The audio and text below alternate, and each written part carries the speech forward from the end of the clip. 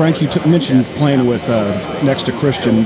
What's the chemistry like there? Because you guys are a little bit of the odd couple as far as where you came from and how you got here. What's the relationship like? Well, I knew Christian a long time coming out of high school. He was recruiting me, and I was recruiting him. So we still have we have a strong relationship. Uh, Christian is uh, he's on me every day.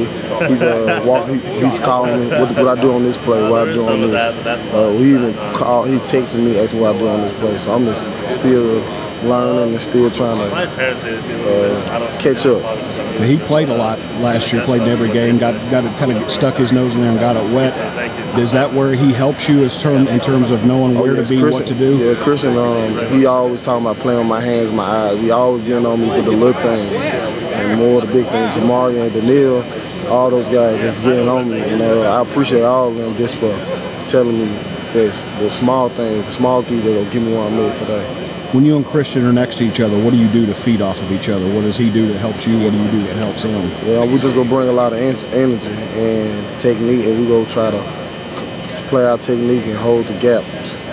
So you ever break out some of that uh, Massachusetts accent? You can't understand what he's saying. Uh, I can understand Christian a lot. He's a he's a real pretty funny guy when you get him. It's a little bit different than a lot of you Southern guys, though. That, I'm from the Midwest, but even I struggle with the, the Northeastern accent. Well, he do ask me what I, what I be saying a lot. He ask me what this mean and that mean. You know. Have you had to educate him on Southern food a little bit? Uh, not really. Christian, uh, he been he came in the uh, spring of uh, freshman year, so he he he was teaching me. He was showing me around, teaching me a lot of stuff. But like I wasn't really into crawfish and stuff like that. Now, You're a Memphis guy, so barbecue, I imagine. Oh, I, yes, I talked to Evan Washington, a Texas guy, about it. He said he misses that a little bit. You're a Memphis guy. Do you miss some of that down here? I do miss that barbecue. The barbecue is the best. What, what's your best place in, in Uh, I say Corky's.